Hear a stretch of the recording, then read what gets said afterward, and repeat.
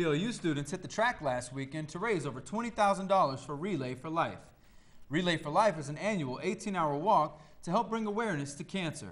PLU students share why they relay.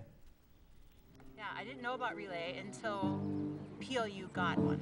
So it's one of the events that um, I think does a wonderful job of bringing out the PLU community and really reaches people um, in places that we don't always know about. Um, I relay because of three people I know who have cancer. Um, my grandma had lung cancer, a girl at my school had bone cancer, and a very special family friend had terminal um, liver cancer.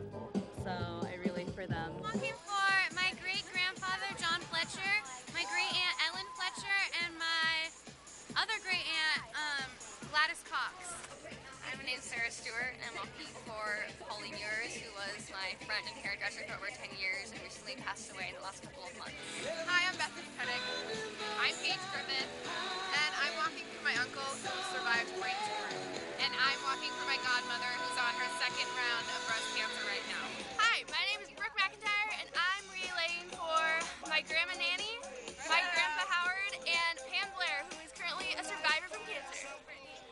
is Keith. My name is Jackie. And we walk for him.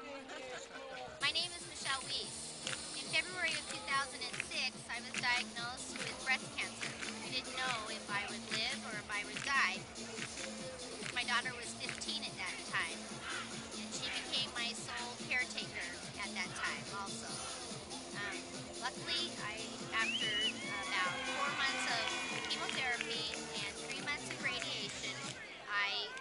survived breast cancer, and I get to celebrate today being a survivor. Hi, I'm Colby. I'm walking for my mom. She had breast cancer. I relay for my grandmother who has had breast cancer, my aunt who's had breast cancer, and also for my husband who in the 11 years we've been together has had both testicular cancer and a kidney cancer. So for those three people, selfishly I relay and also for the hope that nobody else has to go through cancer and that we hope begin to find cures across the board.